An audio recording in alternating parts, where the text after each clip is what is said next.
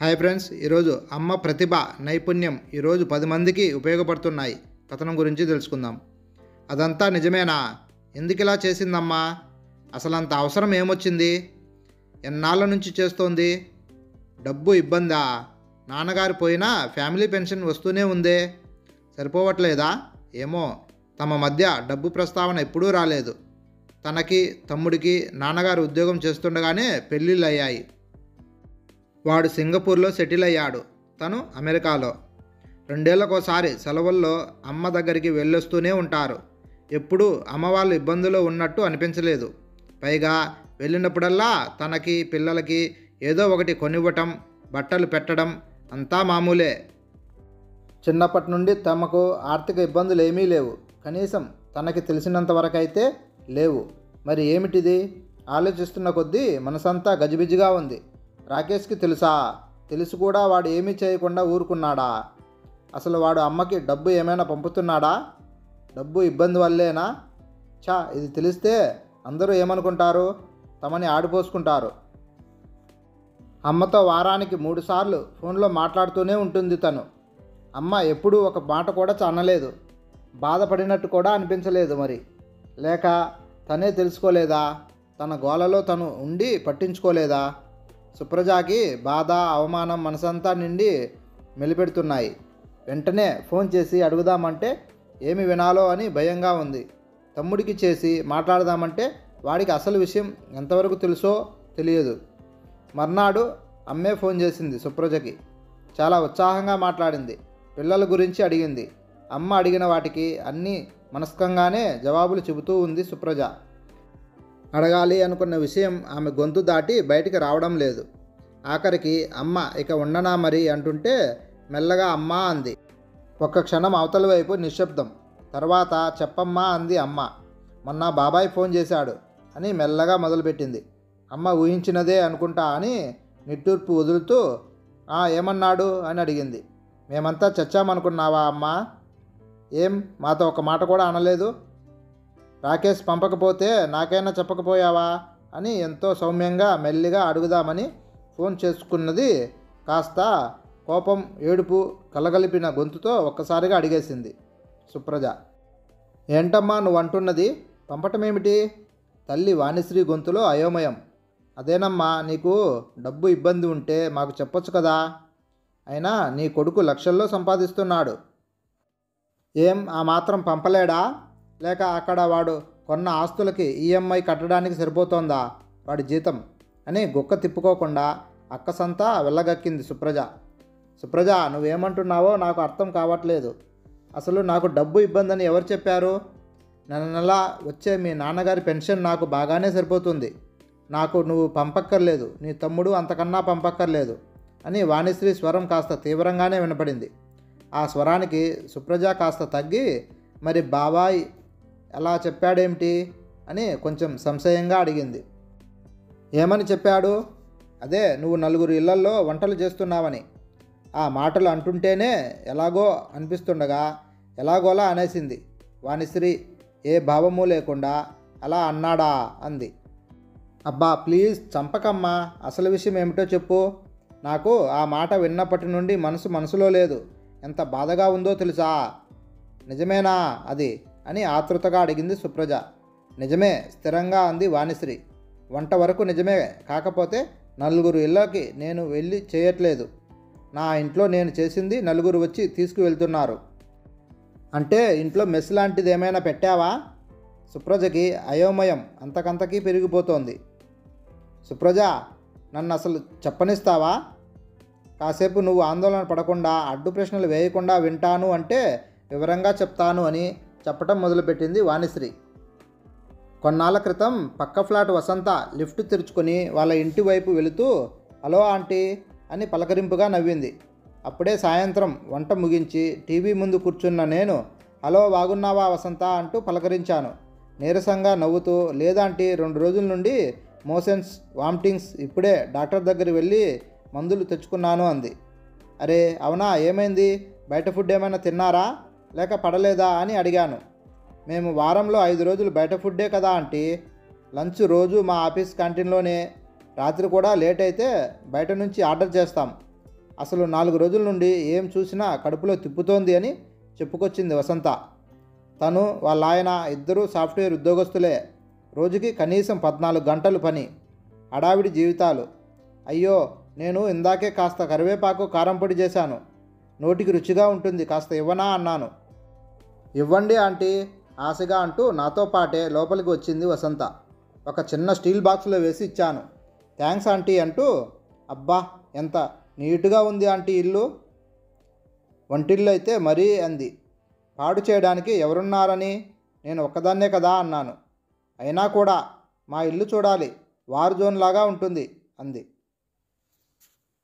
మీరిద్దరూ బయటకు వెళ్తారు. పైగా మీ ఇంట్లో చిన్న పాప కూడా కదా మీకు టైం ఎక్కడ దొరుకుతుంది అని సర్ది చెప్తున్నట్టు అన్నాను. నిజమే ఆంటీ అని నిట్టూరుస్తూ వస్తా ఆంటీ అని మళ్ళీ థ్యాంక్స్ చెప్పి వెళ్ళిపోయింది వసంత. తను వెళ్ళిపోయాక సీరియల్ చూస్తూ వసంత మాటల పైనే ఉంది నా ధ్యాసంతా కోటి విద్యలు కూటు కొరకే అన్నారు. కానీ ఇప్పటి విద్యలు ఉద్యోగాలు డబ్బులు తెచ్చిపెట్టినా కూటికి టైం లేకుండా చేస్తున్నాయి. వచ్చిన జీతాలతో కార్లు ఫ్లాట్లు ఖరీదైన వస్తువులు కొంటున్నారు. కానీ ఆ కొన్న వాటిని అనుభవించే తీరిక లేదు. కడుపుకింత కమ్మగా తినే సమయమూ లేదు. ఏమిటో అనుకున్నాను. మర్నాడు పగలంతా వసంత కనపడలేదు. వాళ్ళ ఫ్లాట్ తలుపు తీసినట్టు అనిపించలేదు. సాయంత్రం అనుకుంటా. మళ్ళీ వచ్చింది. ముందు రోజు నేను ఇచ్చిన స్టీల్ డబ్బా పట్టుకుని. ఎలా ఉంది వసంత? తగ్గిందా? అని పలకరించాను. పర్వాలేదా అంటే ఇవాళ కొంచెం బెటర్ ఒక రోజుకే పీక్కుపోయిన ముఖంతో అంది. టీపాయ్ మీద స్టీల్ బాక్స్ పెట్టి సోఫాలో కూర్చుంటూ ఆంటీ కారం పొడి ఎంత బాగుందో? రెండు పూటలు దాంతోనే తిన్నాను. మా వాళ్ళిద్దరూ నాతో పోటీకొచ్చి మొత్తం లాగించేశారు. మా చిన్నది కూడా అదే తింది. మా ఆయన శేఖర్ అయితే ఆంటీని అడిగి రెసిపీ రాసుకో అని చెప్పాడు. అని గలగలా చెప్పుకొచ్చింది. అయ్యో నేను కొంచెమే చేశాను. మళ్ళీ చేసిస్తాలే నవ్వుతూ అన్నాను. కాసేపు కబుర్లు చెప్పి వెళ్ళిపోయింది. ఆమె మాటల్లో నాకు అర్థమైంది. ఇంటర్ నుండి వసంత చదువు అంతా హాస్టల్లోనే సాగింది. క్యాంపస్ సెలక్షన్లోనే ఉద్యోగం హాస్టల్లో మెస్ భోజనమే. ఇప్పుడు ఈ సంసారం ఇంటి పని వంట పని పాప పనితో సతమతమవుతోంది. పైగా వంట అస్సలు అలవాటు లేదట. మీరు ఎలా చేస్తారు ఆంటీ? ఇంత బాగా? నాకు కూడా నేర్పించండి అంటూ వసంత ఒకటే అనటం నవ్వొచ్చింది నాకు. పొద్దున లేస్తే వంట చేయటంతోనే గడిచిన జీవితం నాది. పన్నెండు పదమూడు ఏళ్ళ నుండే అమ్మకి వంటలో సాయపడేదాన్ని. పెద్ద కూతుర్ని కదా ఇక పెళ్ళయ్యాక అత్తారింట్లోనూ పెద్ద సంసారమే. అత్తగారు మామగారు మరుదులు ఆడపడుచు. ఈయన పెద్ద అవటంతో అందరి పెళ్ళిళ్ళు మా తర్వాతే అయినాయి. పెద్ద కోడలుగా బాధ్యతలు బాగానే ఉండేవి. పైగా అందరూ భోజన ప్రియులు అంతమంది ఇష్ట ఇష్టాలు గమనిస్తూ ఎక్కువ రకాలు వండాల్సి వచ్చేది. అలా అవసరం కొద్దీ వంట బాగా అలవాటైపోయింది. తిన్న వాళ్ళందరూ కూడా నా వంట అద్భుతంగా ఉందని మెచ్చుకునేవారు. నేను వంట ఆసక్తిగా చేసేదాన్ని. మరుదులు ఆడుపడుచుల పెళ్ళిళ్ళు అయిపోయి వెళ్ళేలోపు మాకు పిల్లలు పుట్టడం వెరసి కుటుంబ సభ్యుల సంఖ్య దాదాపు మళ్ళీ అంతే. ఇక పిల్లలు పెద్దవాళ్ళయ్యి పెళ్ళిళ్ళు పురుళ్ళు పుణ్యాలు ఏనాడు వంటింటికి నాకు రెస్ట్ ఉండేది కాదు. అలాంటిది పిల్లలు ఫారెన్లో సెటిల్ అవ్వటం ఏడాదిన్నర క్రితం ఈయన పోవడంతో ఇన్నాళ్ళకి ఇలా ఒంటరిగా ఒక్కదానికి వండుకోవలసి వస్తోంది. నిట్టూర్పుతో ఆలోచనలు కట్టిపెట్టి లేచాను. మర్నాడు కాస్త నిమ్మకాయ ఉరగాయ తీసి చక్కగా పోపు వేసి మంచి మిరియాల చారు పెట్టి రెండు తీసుకెళ్ళి వసంతకిచ్చాను. తెగ ఆనందపడిపోయారు వాళ్ళు. ఒక్కదానికి వండుకోవటానికి ఆసక్తి లేక ఏదో ఇంత వండేసుకు తింటున్న నాకు వాళ్ళకి అలా వండి ఇవ్వటం వాళ్ళు దానిని పరమానందంగా తినటం ఎంతో తృప్తినిచ్చింది. నేను ఆ రోజు తృప్తిగా తిన్నాను. అలా వారంలో ఒకటి రెండు సార్లు వాళ్ళకు ఏదో ఒకటి చేసి ఇవ్వటం అలవాటైంది. వాళ్ళ చిన్నది భార్గవి కూడా అమ్మమ్మ ఇవాళ ఏం చేశావు? చారు పెట్టావా? అంటూ మన ఇంట్లోనే తిరగటం మొదలుపెట్టింది. ఇంతలో వసంత ఒకరోజు ఒక శుభవార్త తెచ్చింది. తను మళ్ళీ తల్లి కాబోతుందట నేను సంతోషపడి ఏం తినాలన్నా కోరిక కలిగినా మొహమాట పడకుండా నాకు చెప్పమన్నాను. వసంత వాళ్ళ అమ్మ అప్పుడు ఆస్ట్రేలియాలో ఉంది. వసంత చెల్లెలు మొదటి కాన్పు కోసమని. తను చెమర్చిన కళ్ళతో అలాగే aunty thank you so much అంది. కానీ అనుకోకుండా తనకి తర్వాత నెలలో వచ్చిన కొన్ని కాంప్లికేషన్స్తో ఒక రెండు నెలలు జాగ్రత్తగా ఉండాలి అన్నారు. బెడ్ రెస్ట్ తీసుకోమన్నారు. వాళ్ళకి ఇంకా ఇబ్బంది అయింది. ఒంటరాని ఆ అబ్బాయి తిప్పలు పడుతూ వండటం కుదరని రోజు బయట తేవడం అది ఆ అమ్మాయికి సహించక తినకపోవడం ఇలా వాళ్ళ తిప్పలు చూసి నా వంటతో పాటు మీకు కూడా చేసి పెడతా కొన్ని రోజులు. మీరు అవస్థపడకండి అన్నాను. ఓహో బాగుందమ్మా. వాళ్ళకి ఫ్రీగా చాకరీ చేసి పెడుతున్నావన్నమాట. మధ్యలో ఆపి సుప్రజ ఉక్రోషంగా అంది. ఆగు మొత్తం విను అంటూ చెప్పబోయిన వాణిశ్రీతో పిల్లాడిని స్కూల్ నుంచి తీసుకొచ్చే టైం అయిందమ్మా. తర్వాత మాట్లాడదామని ఫోన్ పెట్టేసింది సుప్రజ. ఫోన్ పెట్టేసిన వాణిశ్రీ మనసులో అవే ఆలోచనలు కొనసాగాయి. నిజానికి వసంత వాళ్ళు చాలా మొహమాట పడిపోయారు. వద్దాంటి పెద్దవాళ్ళు మిమ్మల్ని ఇబ్బంది పెట్టలేమన్నారు. నాకు ఒకదానికే పని లేక బోరు కొడుతోంది అంటూ మొత్తానికి ఒప్పించింది. కానీ సరుకులు కూరగాయలు అన్నీ మేమే తెచ్చి పెడతాం. ప్లీజ్ కాదనకూడదు అన్నారు. తను కొంత తర్జన భర్జన తర్వాత సరేనంది. అలా మొదలుపెట్టిన తన సాయం తమ మధ్య ఒక అనుబంధంగా అయిపోయింది కాస్త కుదుటపడ్డ వసంత రోజూ వచ్చి కూర్చుని కబుర్లు చెబుతూ మర్నాటికి కావలసిన కూరగాయలు తరిగి పెట్టేది. భార్గవి అక్కడే కూర్చుని హోంవర్క్ చేసుకునేది. తన ఒంటరితనము నిర్లిప్తత వదిలిపోయి ఉత్సాహంగా అనిపించసాగింది. రోజుకొక కొత్త రకం చేస్తూ భార్గవిని ఆశ్చర్యపరుస్తూ ఉండేది.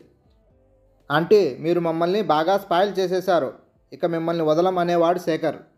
ఇది చూసిన కింద ఫ్లోర్ శాన్వి ఆంటీ నాకు వంట నేర్పించండి ప్లీజ్ ఆంటీ. మీ దగ్గర అసిస్టెంట్గా ఉంటా అంటూ తమతో కలిసింది. వాళ్ళ ఇంట్లో కూడా ముగ్గురే. శాన్వి వసంత ఇద్దరూ చేరి ఒక వారం పాటు రకరకాలుగా నచ్చజెప్పి నేను చేస్తున్న సాయానికి ప్రతిఫలం ఉండాల్సిందే అంటూ బలవంతాన నా అకౌంట్లో నెలకింత అని వాళ్ళే డబ్బులు వేయటం మొదలుపెట్టారు. తను ససేమిరా వద్దంది. నేను కేవలం ఒక మనిషిగా సాయం చేస్తున్నాను. దానికి వెలకట్టద్దు అంది. అంటే మీ టాలెంట్ మీకు తెలియదు దానికి మేము అసలు వెలకట్టలేం. ఇది మా గురుదక్షిణ అనుకోండి అన్నారు వాళ్ళు. మేము ఆఫీస్లో వర్క్ చేస్తే శాలరీ వస్తుంది. ఇంటి పనికి మాత్రం వాల్యూ ఎందుకు లేదు? ఉండాలి అంటే మీ శ్రమను ఎవరు ఎక్స్ప్లాయింట్ చేయకూడదు అంది వసంత. నాకు వాళ్ళ మాటలు కొత్తగా అనిపించినా ఆలోచనలో పడేశాయి. రోజు సాయంత్రం ఇద్దరూ వచ్చి పాపం కబుర్లు చెబుతూ మర్నాడు వంటకి నాకు కావలసిన కూరలు తరిగి టిఫిన్కి పిండి ఏదైనా రుబ్బాల్సింది ఉంటే రుబ్బి అన్నీ రెడీగా పెట్టే వెళ్ళేవాళ్ళు. వసంతని వద్దని శాన్వీనే ఎక్కువగా చేసేది. శాన్వి కూతురు అమ్ము వాళ్ళ ఇంట్లో ఉన్న బ్లాక్ బోర్డ్ ఒకటి తెచ్చి గోడకు తగిలించింది. భార్గవి తను కలిసి దాని మీద టూ డేస్ మెను అని రాసి దాని కింద ఆ రోజు వంటకాలు అన్నీ రాసి పక్కనే ఆ కూరగాయ బొమ్మలు గీసేవాళ్ళు. ఇద్దరూ చిన్నవాళ్ళే. ఒక్కొక్క వంటకి వాళ్ళు ఇంగ్లీష్లో రాసే స్పెల్లింగ్స్ చూసి మేము తెగ నవ్వుకుంటూ ఉండేవాళ్ళం. వాళ్ళు నాలుగు నెలలుగా డబ్బు అకౌంట్లో వేస్తున్నా ఎందుకో తీబుద్ధి కాలేదు. అకౌంట్లో బ్యాలెన్స్ చూసుకుంటే ఎంత చిత్రంగా అనిపించిందో. నా జీవితంలో మొట్టమొదటి సంపాదన అరవై ఏళ్ళ వయసులో అచ్చంగా నాదే అన్న డబ్బు. ఎందుకో తెలీదు. కొంత గిల్టీగా కూడా అనిపించింది. పిల్లలకి ఇప్పటి వరకు ఏం చెప్పలేదు. కానీ ఇవాళ సుప్రజతో ఇవన్నీ పంచుకున్నాక మనసు తేలికగా ఉంది. ఆలోచనల నుంచి తేరుకున్న వాణిశ్రీ ఫోన్లో చెప్పలేకపోయినా ఈ విషయాలన్నీ వివరంగా రాసి మెయిల్ పెట్టింది సుప్రజకి. మెయిల్ చదివిన సుప్రజ మర్నాడు తల్లికి ఫోన్ చేసింది. ఇదంతా మాతో ఒక మాట కూడా ఎందుకు అనలేదమ్మా నువ్వు? సుప్రజ మెల్లగా అడిగింది. ఈసారి ఆమె గొంతులో ఆపేక్షణ లేదు. వాణిశ్రీ దీర్ఘంగా నిట్టూర్చింది. మీరు దీనికి ఎలా స్పందిస్తారో అర్థం కాలేదు. మాటల్లో చెబితే మీ బాబాయ్ అన్నట్టు చేసేది వంట పనే అయితే అసలు ఆ పనికైనా ఎందుకు అవమానపడాలి? సరైన రీతిలో అర్థం చేసుకుంటే అది ఒక ఉద్యోగమే. ఎక్కడో దూరాన ఉన్న మీకు ఈ నేపథ్యమంతా చెబితే తప్ప అర్థం కాదు. అప్పుడు కూడా నచ్చకపోవచ్చు. మీ నాన్న ఉన్నప్పుడు కూడా నేను ఏది చెప్పాలన్నా వంద సార్లు రిహార్సల్ చేసుకుని చెప్పేదాన్ని. దేనికి కోపం వస్తుందో తెలిసేది కాదు. ఈ విషయం కూడా అందుకే మీకు చెప్పాలని ఎన్నోసార్లు నోటి వరకు వచ్చినా చెప్పలేదు అని వాణిశ్రీ మెల్లగా చెప్పింది. వింటున్న సుప్రజని కొత్త ఆలోచనలెన్నో ఒకేసారి ఉక్కిరిబిక్కిరి చేశాయి. అసలు అమ్మ వైపు నుండి ఎప్పుడైనా ఆలోచించామా? అమ్మగా కాకుండా ఒక వ్యక్తిగా తనని అర్థం చేసుకునే ప్రయత్నం చేశామా? పైగా బయట హోటళ్ళలో టీవీ షోస్ యూట్యూబ్లో వచ్చే వాటికి ఇచ్చే గౌరవం వీళ్ళకి ఎందుకు ఇవ్వం? వంటలక్క అని ఎందుకు చులకనా? సుప్రజ అంతరంగంలో ఎన్నో భావాలు సందేహాలు. సుప్రజ ఏమీ అనకపోయేసరికి అవతలి వైపు నుండి వాణిశ్రీ హలో హలో అంటోంది. తేరుకున్న సుప్రజ తడబడుతున్న గొంతుతో సారీ అమ్మా నేను కూడా నిన్ను సరిగా అర్థం చేసుకోలేదు అని మళ్ళీ కానీ అమ్మా ఇంత ఎక్స్ట్రా పనితో నీ ఆరోగ్యం పాడైతే వాళ్ళు వచ్చి నీకు చేస్తారా? అప్పుడు ఎంత కష్టం? సుప్రజ ఇంకా సమాధాన పడలేకపోతోంది. నాకు మొదట్లో ఆ భయం వేసింది. కానీ చిత్రంగా ఈ పని మొదలుపెట్టాక నాకు నీరసం నిర్లిప్తత వదిలిపోయి కొత్త ఓపిక వచ్చింది. ఇది వరకు పొద్దున్నే లేచి ఏం చేసేది ఉందిలే అని బద్ధకంగా అనిపించిన నాకు ఇప్పుడు ఎప్పుడెప్పుడు లేద్దామా అనిపిస్తోంది. పైగా ఆ మధ్య ఒక రెండు రోజులు నాకు కాస్త నలతగా ఉన్నప్పుడు శాన్వి వసంత నా గురించి తీసుకున్న శ్రద్ధతో నాకు ఆ భయం కూడా పోయింది.